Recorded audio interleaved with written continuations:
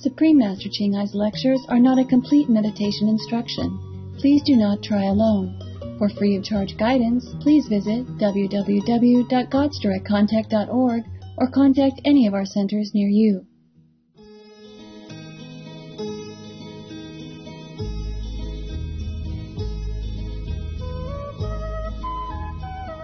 El episodio de hoy será presentado en inglés con subtítulo en árabe, aulacense, también conocido como vietnamita, búlgaro, chino, croata, checo, inglés, francés, alemán, hindi, húngaro, indonesio, italiano, japonés, coreano, malayo, mongol, persa, polaco, portugués, punjabi, rumano, español y tailandés.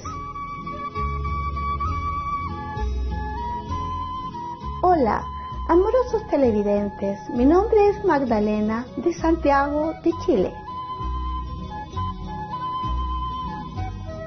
Chile, en palabras del ganador del Premio Nobel chileno, Pablo Neruda, fue inventado por un poeta. Este hermoso país se encuentra a lo largo de la costa occidental de América del Sur. Muy parecido a una cinta estrecha en apariencia, se extiende entre el océano más profundo, el Océano Pacífico, y la cadena montañosa más extensa, los majestuosos Andes, su impresionante paisaje contrastante y su profundo patrimonio cultural han convertido esta tierra en un destino único para visitantes de todo el mundo.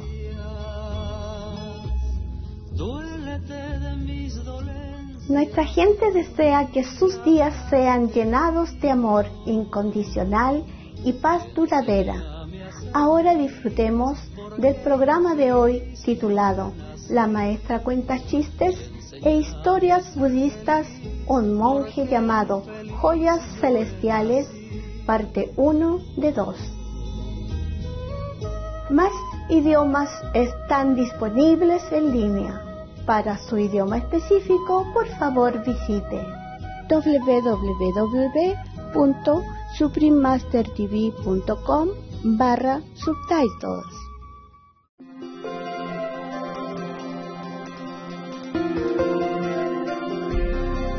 Durante más de tres décadas, la Maestra Suprema Ching Hai ha iluminado nuestro mundo con sus enseñanzas divinas. Una maestra totalmente iluminada imparte el método Guan Yin de meditación a aquellos que desean descubrir inmediatamente la naturaleza de Dios interna y alcanzar en una vida la liberación eterna del ciclo de la transmigración.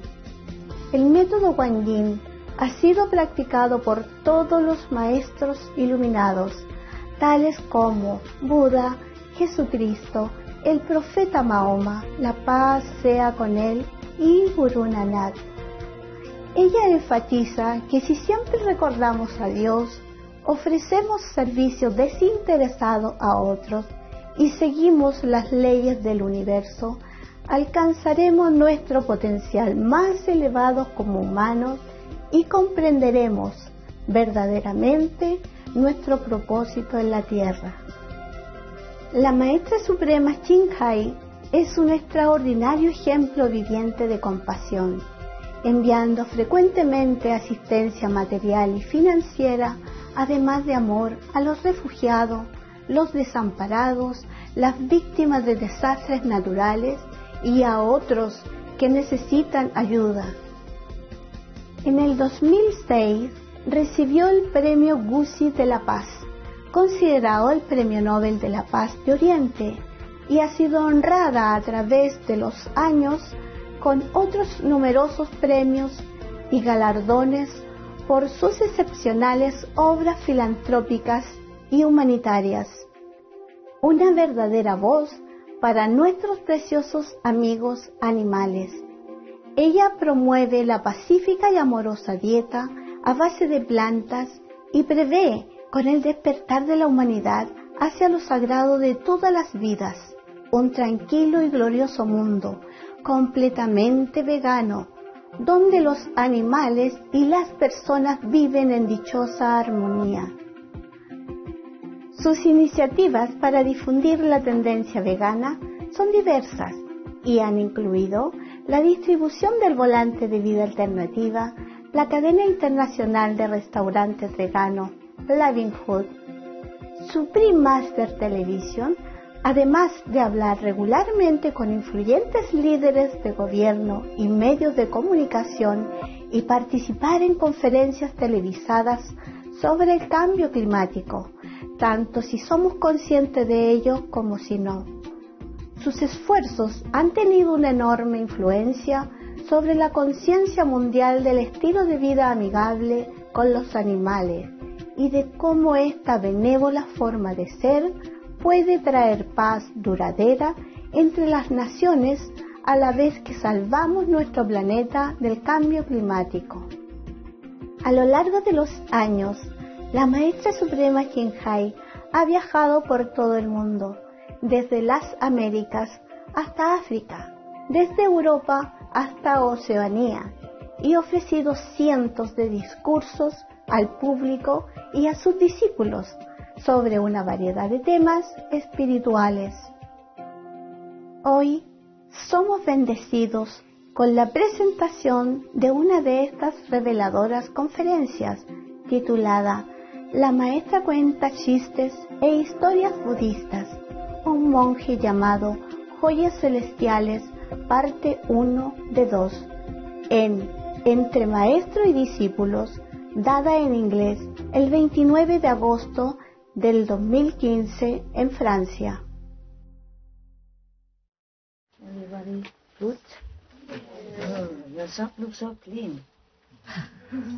Oh, How? You clean it? How you wash it? Huh? New, huh? So nice to go out shopping like that. Okay. I was thinking. Ah. You. Ah. How many people left today? Huh? How many people left? Don't know? Shelby? No one left? How come it looks so empty over there? It's not? Okay. Something wrong with me? Yeah. Ah, it's funny.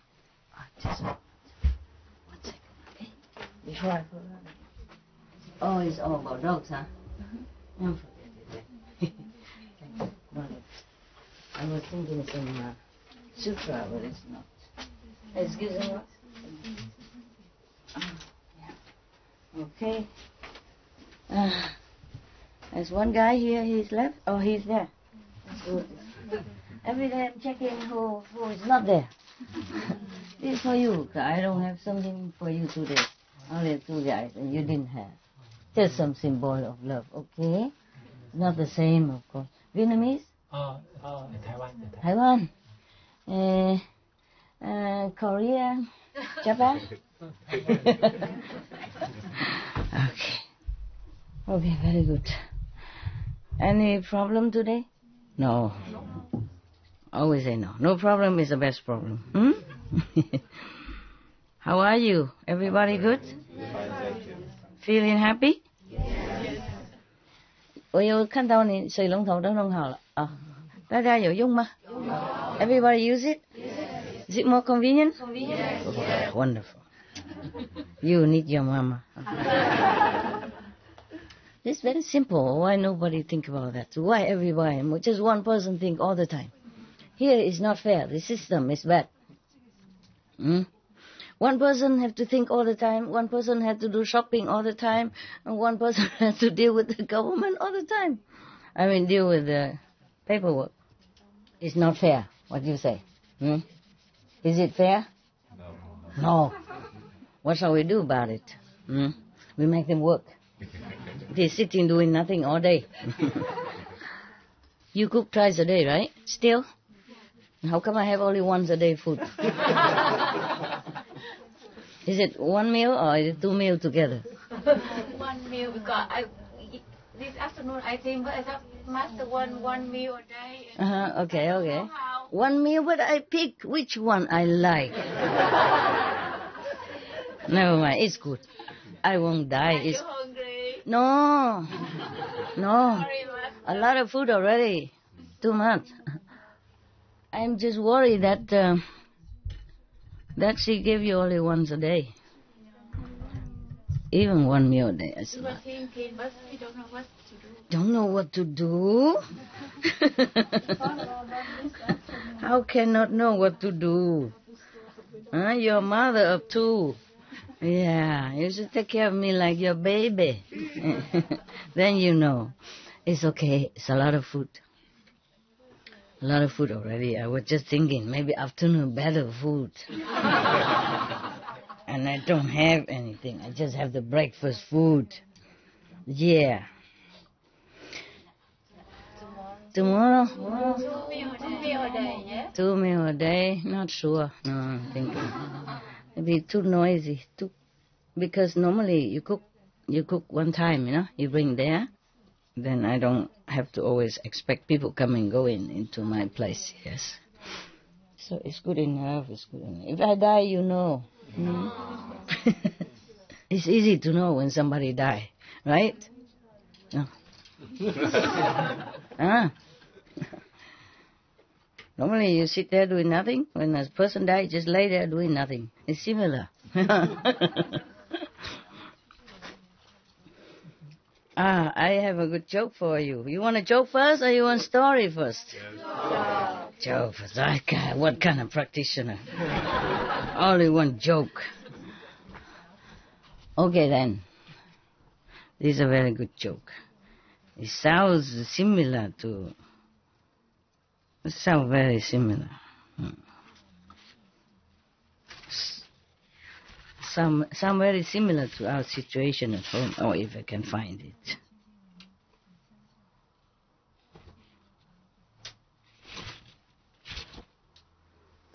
Ah, here. About gardening. Hmm? About garden. All about garden. God and St. Francis were having conversation on the subject of lawn, you know, grass. You know, garden. Hmm. And God, God, point, point. Frank. God, point, point mean God is speaking, okay? God and two point. Frank mean St. Francis. We call him Saint Francis, but God doesn't call anybody Saint Francis. Yeah? So God and Saint Francis. You know Saint Francis? Italy? San Francisco of Assisi? Is a visit, he was a vegetarian or maybe vegan even. At that time they don't use the word, word vegan, but probably, probably was, uh, like, uh, probably was, uh, how you say, vegetarian, eh? At that time they probably drink some milk or eat some cheese. Or, yeah, okay. Uh, in any case, he's a animals uh, protector, yeah, and lover, lover, and he also know he likes trees and stuff. protect them, protect nature. Mm. So I guess uh, in this conversation, St. Francis already gone up, yeah. so God was talking to him. Or God say, Frank, yeah, just like I said, John, Josh. uh, you know all about gardens and nature. What in the world is going on down there in the Midwest or wherever? Yeah, in the world, yes. We don't say Midwest, so people might think we just pick on them, you know? So I say, what in the world is going on down there in the world? what happened to the dandelions, the violets, thistles and stuff, etc., I started eons ago. I had a perfect, no maintenance garden plan. Those plants grow in any type of soil, withstand drought, and multiply with abandon. The nectar from the long-lasting blossoms attracts butterflies, honeybees, and flocks of songbirds. I expected to see a vast garden of colors by now, but all I see are these green rectangles. So San Francis, dot dot. Point point yeah two point oh dear god. It's the it's the tribes that settle there my lord? The suburban the suburbanites. They started calling your flowers weeds and went to great lengths to kill them and replace them with grass. Yeah I tell you my story later. If you remind me, okay? Yeah. Ah, so God, two point, grass? But it's so boring. God said, yeah. It's not so colorful. Right? Not, yeah. It doesn't attract butterflies, birds and bees, only grubs and worms is temperamental with temperatures. Do these suburbanites really want all that grass growing there? So San Francis, oink, oink. apparently so, my lord. They go to great pains to grow it and keep it green. They begin each spring by fertilizing grass and poisoning any other plant that crops up in the lawn. That's correct, right? Yeah. That's what most people do. Yeah. God, point, point. Hmm. The spring rains and warm weather probably make grass grow really fast. So that must make the suburbanites happy, huh? God asked. So San Francisco, point, point. Apparently not, Lord. As soon as it grows a little, they cut it. Sometimes even twice a week. That is all true. Yeah. I always wonder what the humans are doing all the time. so God, point, point, yeah, two point. they cut it. Do they then bale it like hay? You know, tie it together, you know roll it, you know, like the hay after harvest. San Francisco, point, point, not exactly, Lord. Most of them rake it up and put it in bags. God, point, point, they bag it? Why? Why do they bag them? Is it a cash crop? Do they sell it? Poor God. this is all very strange to him. San Francisco, boing. Mm. No, sir, no, sir. Just the opposite. They pay to throw it away. Yeah. more money, more work. so God, boing. Mm. Now let me get this straight. He, God is lost. God could not understand humans. So he said, now let me get this straight. They fertilize grass so it will grow. Correct? Yeah. And then when it does grow, they cut it off. Correct? And even pay to throw it away. San Francis, oink, oink. Yes, sir. God, oink, oink. These suburbanites must be relieved in summer when we cut back on the rain and turn up the heat. That surely slows the growth and saves them a lot of work, no? So God is very, very compromising. Whatever, they happy, okay, you see? he just didn't understand, but it's okay then in that case, in summer, they must be very happy. They don't have to cut and, you know, don't have to pay to take it away, uh, etc. San Francis answer, point, point. You aren't going to believe this, my lord. When the grass stops growing so fast, they drag out hoses and pay more money for the water. so they can so they can water it so they can continue to mow it mow it and pay to get rid of it as usual. God point what nonsense! At least they kept some of the trees that was a sheer stroke of genius, if I do say it to myself, meaning he created trees and it was very good and he is proud of himself. The trees grow leaves in the spring to provide beauty and shade in the summer. In the autumn, they fall to the ground and form a natural blanket to keep moisture in the soil and protect the trees and bushes. Plus, as they rot, the leaves form compost to enhance the soil. It's a natural circle of life. St. Francis, point, point. Mm. You better sit down, dear Lord.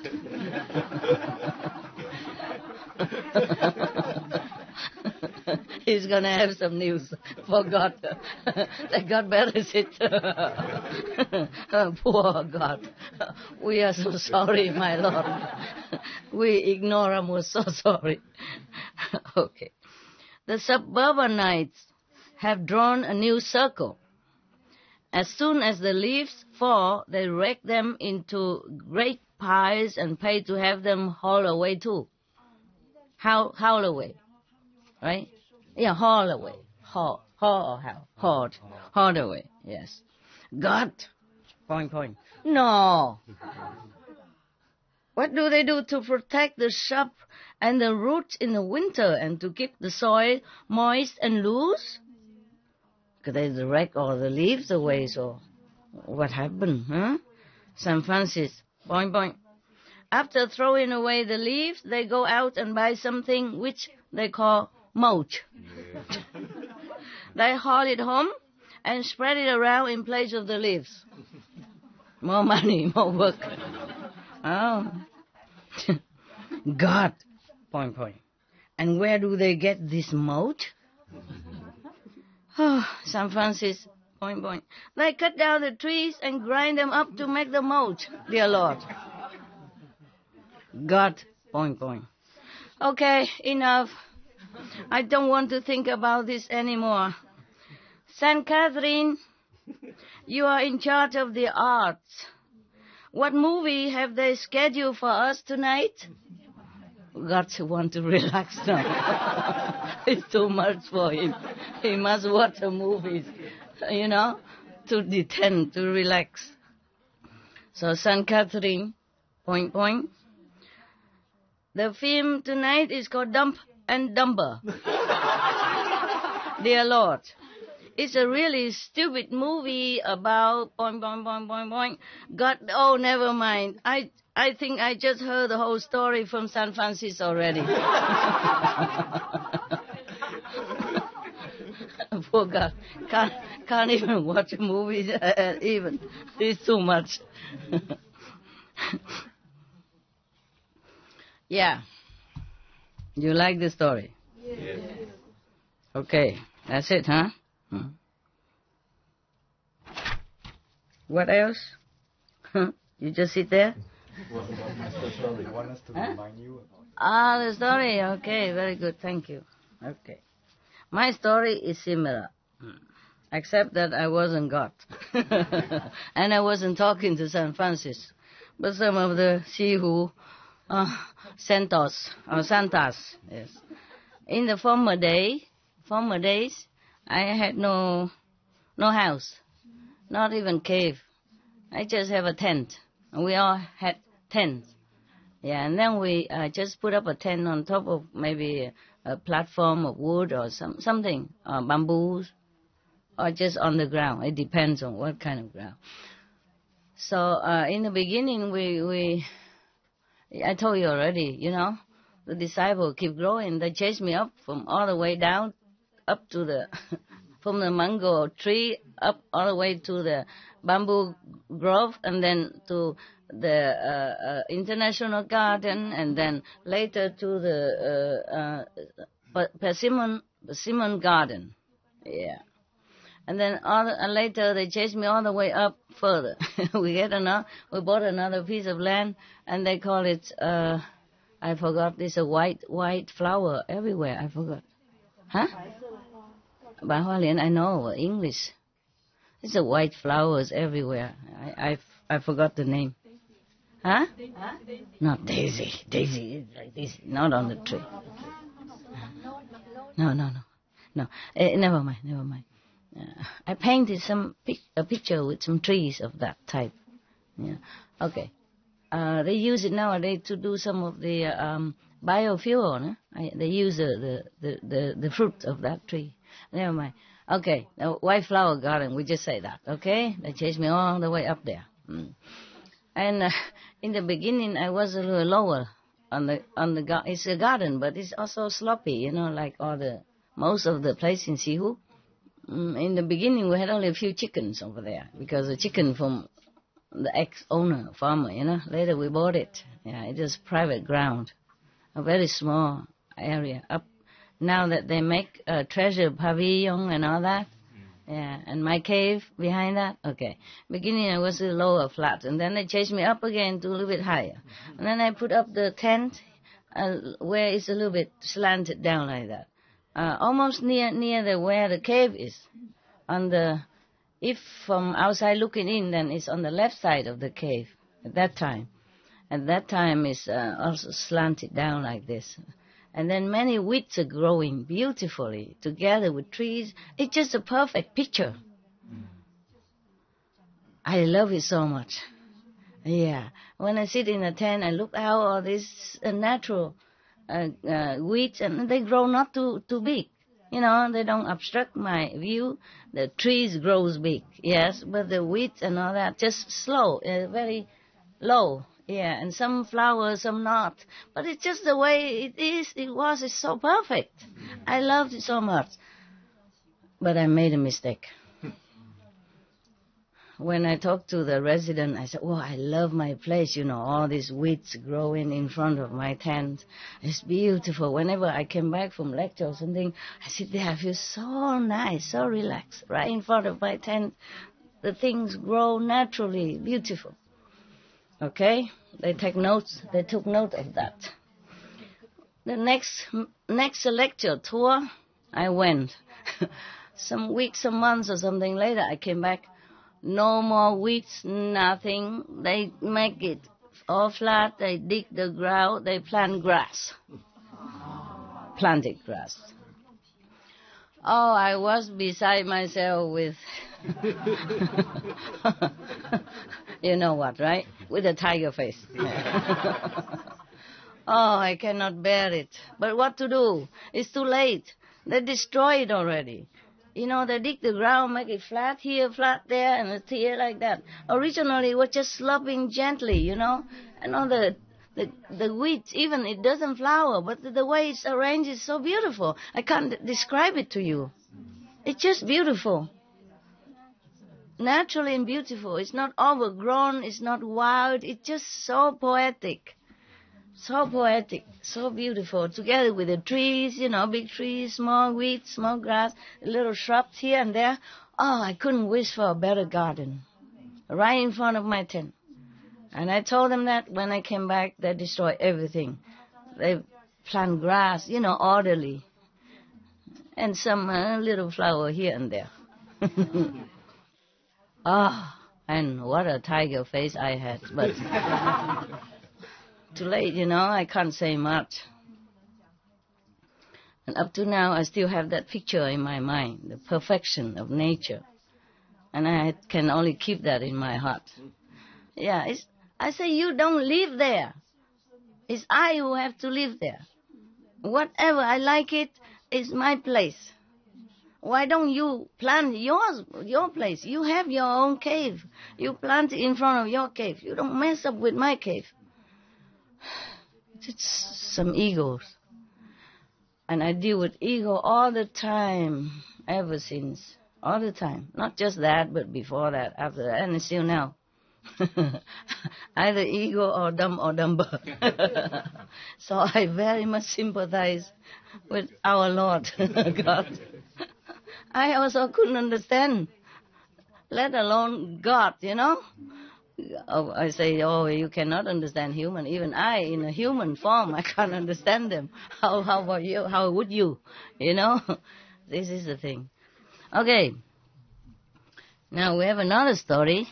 I say it's not so bad, but just to erase this, just to erase this memory. Oof.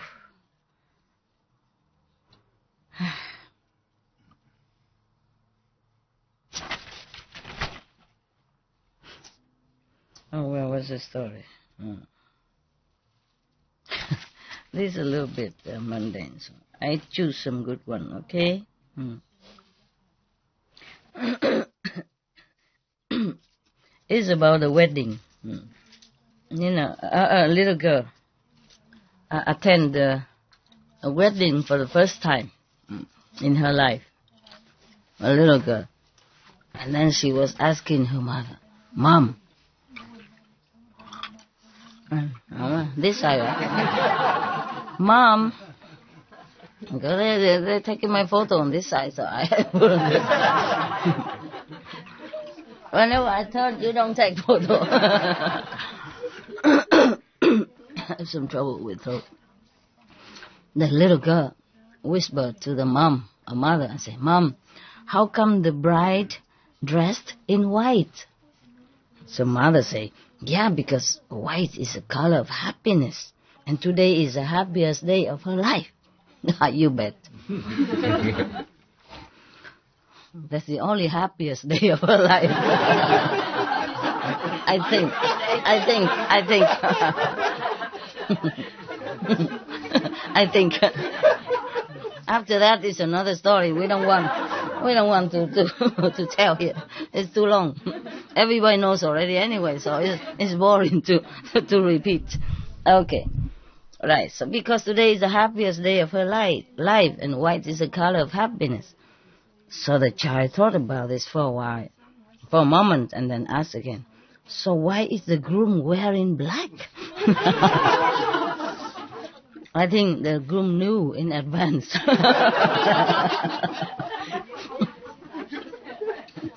from now on, from that day on, prepare, you know.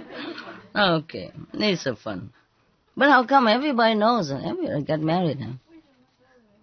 Why? Why? Are you are your marriage happy? Mine was happy. Yeah, I don't mind marrying again. Yeah, because mine was very happy. Yours? Yours? No, sorry. No, no, no. Some? Yes, not married. Okay. No, I don't want to marry again with that husband, not not with anybody else. I don't think it will be the same. Okay. The children, this is uh, uh, another story, okay, about children and God. The children will line up in the cafeteria of a Catholic ele- elementary school for lunch. Mm. At the at one end of the table, there was a large pile of apples, and the nun had posted a note on the apple tray saying, "Take one only." South familiar, yeah. Take one only. God is watching. That's a note that she wrote. And then, and then the children moving uh, further along the lunch line at the other end of the table was a large pile of chocolate chips cookies. So a, a little child had written a note or, put on there and say, "Take all you want. God is watching the apples only."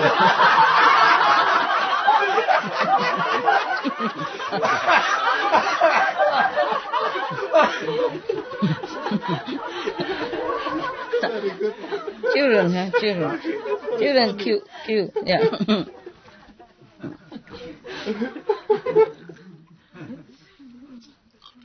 and the child, um, a little boy opened the big family Bible, uh, was reading. He was fascinated as he, you know, turning pages.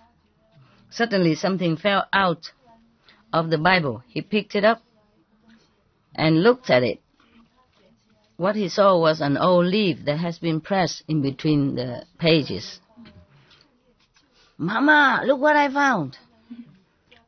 So the mama said, What have you got there? He said, he, was very astonished and said, Ma, I think it's Adam's underwear.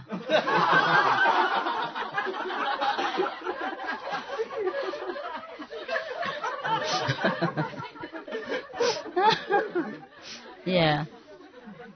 Possible. Yeah. In the old day, that's what they use. Yeah, no, not old days. In Adam's time, Oh, yeah. they don't use anything. just one leaf you, to cover where, you know, right? I got it. okay. Yeah. Um, I was thinking to let the three of them sit here. Because when I sit there, they don't see me at all. They hardly see me because they've been out all day. Come here, the three of you. The three pillars. Three pillar of the Zen. We can see you actually, yeah? You can? Really? Yeah, yeah. Mm. You can sit on the bed. Three of you, if you want. It's okay? Really? Oh, I forgot the candy. candy back on this side. Okay, there's another story. Saying grace before meals. You know what that means? It's like before you eat, you say thank you, God, Buddha, Master, whatever, huh? Uh. So this is Sunday school. The teacher asked, ask uh, one of the kids, Johnny now, tell me frankly, do you say prayers before eating? No, sir. Little Johnny replies, I don't have to. And the teacher was surprised. But you should. Why? Why not? He said, Oh, my mom is a very good cook.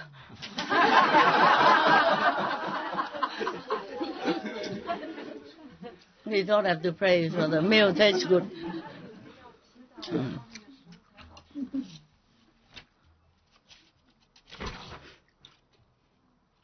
Okay, long story. Mm. Oh, maybe next time, huh?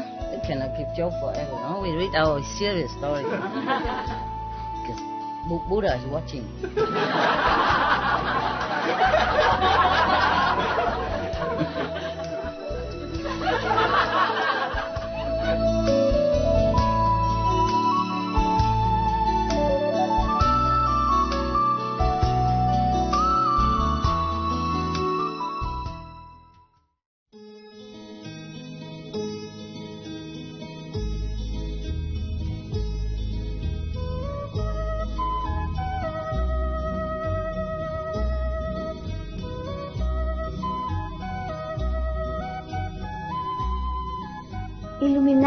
Televidentes, han estado viendo La maestra cuenta chistes e historias budistas, un monje llamado Joyas Celestiales, parte 1 de 2, en Entre Maestro y Discípulos.